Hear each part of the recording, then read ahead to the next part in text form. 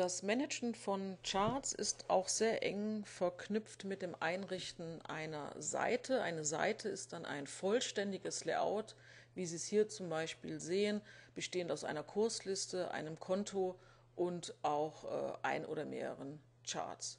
Konten können Sie auch hier oben hinzunehmen. Kurslisten können Sie hierüber verändern und wie mit Analyse und Initialanalyse umgegangen werden muss, habe ich in einem anderen Film erläutert. In diesem Fall, was Sie jetzt sehen, ist es so, dass mehrere Charts geöffnet sind und ähm, jetzt noch final zum Abspeichern des Layouts noch die Anordnung fehlt. Da haben Sie die Möglichkeit, äh, Charts auszulagern, wenn Sie mit mehreren Bildschirmen arbeiten. Äh, Sie können an jeden beliebigen Punkt in, auf Ihrem Bildschirm den äh, Chart bewegen, aber Sie haben hier über Charts anordnen eine sehr bequeme Funktion, zack, das Ganze in ein Gitterartig anzulegen, ob das vier Charts sind, sechs oder acht, das ist egal. Sie können damit sehr, sehr schnell die Charts proportional anordnen, sodass Sie äh, den Überblick haben über die Informationen.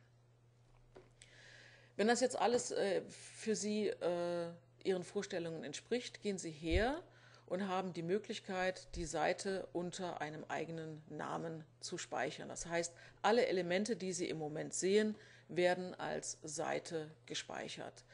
Seite speichern unter. Sie wählen hier einen Namen für Ihre Seite. Wir nehmen jetzt mal den DI30, weil wir jetzt auf dieser Seite ausschließlich mit dem DI30 gearbeitet haben. Und Sie sehen hier oben in der Kopfzeile der Plattform, dass die, das komplette Layout jetzt diesen Namen DE30 trägt. So, diese Seite fehlt uns jetzt hier unten noch in der Seitenleiste.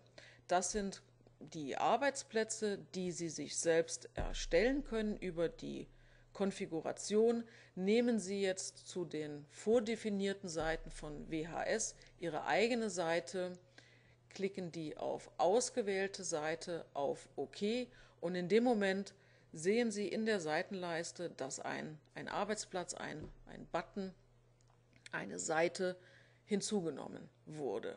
Wann immer Sie jetzt in dieser Seite etwas ändern, äh, klicken Sie auf Seite speichern, sodass diese Informationen dann auch dauerhaft gehalten werden. Würden Sie beispielsweise hergehen und würden das Konto austauschen, klicken Sie auf Seite speichern, bevor Sie auf eine weitere Seite klicken oder die Plattform schließen. Sie haben hier die, wir klicken mal hier auf die Standardseite. Äh, das ist die Seite, die WH Self-Invest quasi bei der Erstinstallation mit ausliefert. Jetzt klicken wir nochmal zurück auf den DE30. Das ist die Seite, die wir uns erstellt haben. Und siehe da, wir haben hier nochmal unser Layout. Wir haben die Kursliste wohl nicht mitgespeichert. Das müssen wir dann noch machen. Und ordnen, ups, ordnen jetzt das Konto nochmal an. Seite speichern. So können Sie sich bequem zwischen diesen, äh, zwischen diesen Seiten hin und her switchen und haben dann womöglich ja, x beliebige weitere Arbeitsplätze, die genau ein Thema von Ihnen fokussieren. Das können Aktien sein, das können, das können Forex-Paare sein. Also da können Sie Ihrem, Ihrer Fantasie äh, freien Lauf lassen. Jederzeit hier über Konfiguration nehmen Sie die Seiten dann hinzu oder nehmen Sie auch raus. Das äh, komplette Menü bezüglich des Seitenmanagers finden Sie hier. Hier haben Sie auch die Möglichkeit, äh, eine leere Seite zu laden. Das bedeutet, dass Sie quasi bei Null anfangen.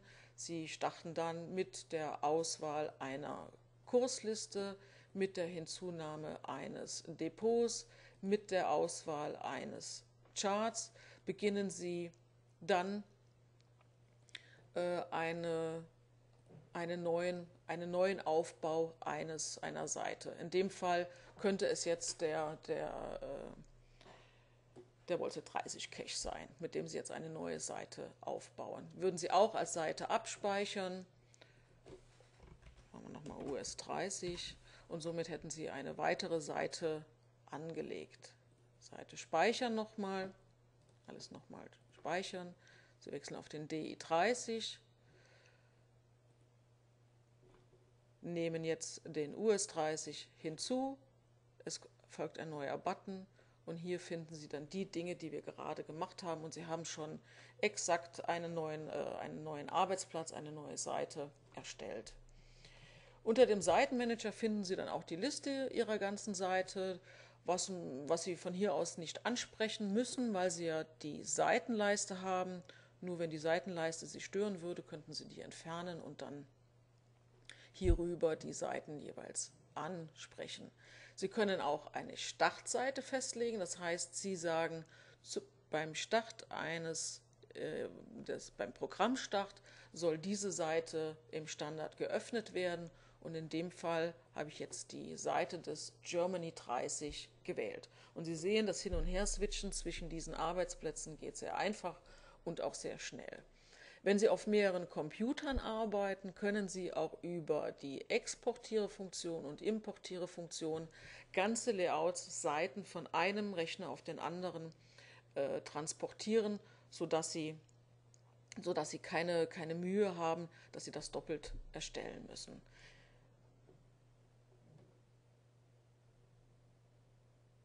Das war's zum Thema Seitenmanagement.